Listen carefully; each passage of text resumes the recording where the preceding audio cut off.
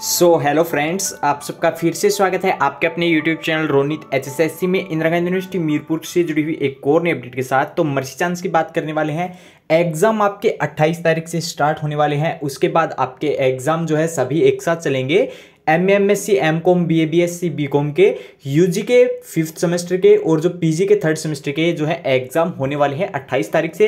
Admit card कहाँ से मिलेगा? एडमिट कार्ड आपको ऑनलाइन निकालना है, उसके बाद डेटशीट की बात करेंगे, साथ ही बात करेंगे पेपर पैटर्न की। तो सभी डाउट ये वीडियो देखने के बाद क्लियर होने वाले। सबसे पहले एडमिट कार्ड आपको ऑनलाइन कैसे निकालना है? आपको simply I G one dot you can apply dot com पर आ जाना है। उसके बाद आके आपको जो है यहाँ पर स्टूडेंट लॉगिन कर लेना है। स्टूडेंट लॉगिन करने के लिए ही आपको जो है आपकी यूनिवर्सिटी रोल नंबर या फिर रजिस्ट्रेशन रजिस्ट्रेशन नंबर चाहिए जिससे आप अपना एडमिट कार्ड निकाल सकते हैं। यूज़र नेम पासवर्ड दोनों सेम होने वाले हैं। आपके रजिस्ट्रेशन नंबर जिसका इरर दिखाता है लॉगिन करने पर, वो अपना यूज़र नेम और पासवर्ड कॉलेज से कंडक्ट करे कॉलेज ऑफ़िस से। उसके बाद यहाँ पर हम डायरेक्ट साइन इन कर देंगे यूज़र नेम पासवर्ड डालने के बाद। यूज़र नेम पासवर्ड डालने के बाद हमारा लॉगिन हो जाता है और आपको जो है इजीली आपका एडमिट कार्ड आपको अवेलेबल हो जाता है। तो आप यहाँ पर देख सकते हैं रिडायरेक्ट होकर हम लॉगिन में आ गए हैं। अपनी जो है, यहाँ पर आप जैसे थोड़ा स्क्रॉल करोगे, आपके पास फोर्थ ऑप्शन एडमिट कार्ड का आपको अवेलेबल हो जाएगा।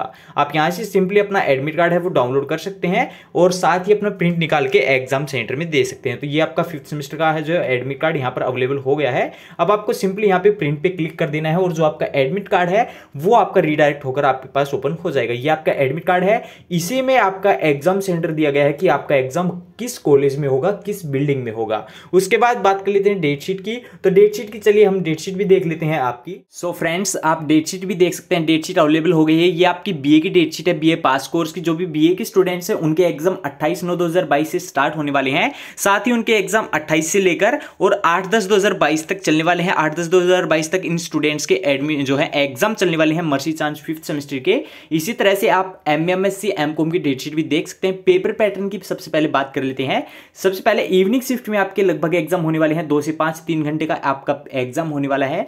उसके बाद पेपर पैटर्न में आपको किसी भी प्रकार की रियायत नहीं दी गई, यानी आपके एग्ज़ाम ना ही एनी फोर बेस पे और ना ही एनी फाइव बेस पे होंगे। आपके डायरेक्ट हर यूनिट में से आपका फ़र्स्ट क्वेश्चन कंपलसरी होने वाला है, जो एक क्वेश्चन आपका आता है, जिसमें आपके अति लघुतरात्मक क्वेश्चन आते हैं, यानी जो एक नंबर का एक क्वेश्चन होते हैं, जिसमें आपके आठ से दस पॉइंट होते हैं, वो क्वेश्चन आपका कंपलसरी होगा। उसके अलावा हर सब्जेक्ट में अलग अलग क्वेश्चन कंपलसरी होता है, एक क्वेश्चन, वो एक क्वेश्चन आपको करना है और उसके बाद सभी यूनिट में से आपको एक क्वेश्चन करना होगा। यानी आपको बीए वालों को टोटल फाइव क्वेश्चन ही जो है सोल्व करने हैं लैंग्वेज के पेपर को छोड़कर। तो आपको किसी भी प्रकार से कोई भी छूट नहीं दी गई। पहले जैसे कोरोना से पहले आपके एग्ज़ाम होते थे, वैसे ही आपके एग्ज़ाम इस बार भी होंगे। तीन घंटे का आपका पेपर होगा, पूरा पेपर आप सोल्व करना है आपको। और आपका सेंटर कौन सा होने वाला है? एग्ज़ाम सेंटर वो आप अपने एडमिट कार्ड पर देख सकते हैं।